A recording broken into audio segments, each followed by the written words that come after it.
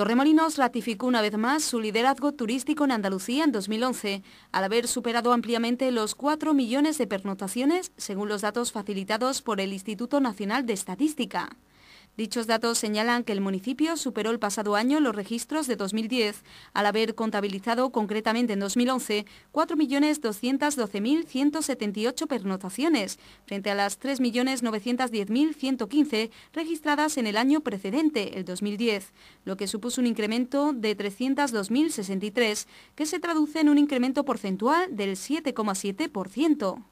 Los datos correspondientes a diciembre de 2011, que completan la estadística del pasado año, señalan que Torremolinos también en ese mes incrementó el número de pernotaciones respecto a 2010, ya que se registraron el pasado diciembre 176.010 frente a las 146.457 de diciembre de 2010, con un incremento porcentual del 20%.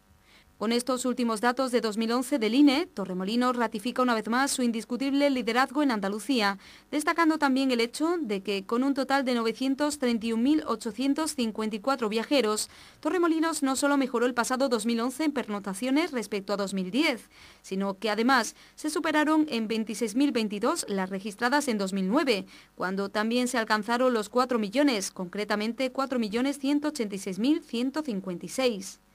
Cumplida ya la estadística de 2011, Torremolinos registró una media de ocupación del 63,86%, de acuerdo a las pernotaciones correspondientes al propio mes de diciembre y del conjunto del año 2011 ofrecidas por el INE y que se detallan por municipios en el siguiente cuadro.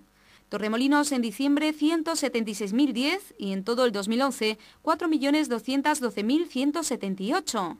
Benalmádena en diciembre 100.776 y en el 2011 2.483.005. Marbella en diciembre 61.401, mientras que en el 2011 2.396.405. Málaga en diciembre 98.756 y 1.734.522 en el 2011.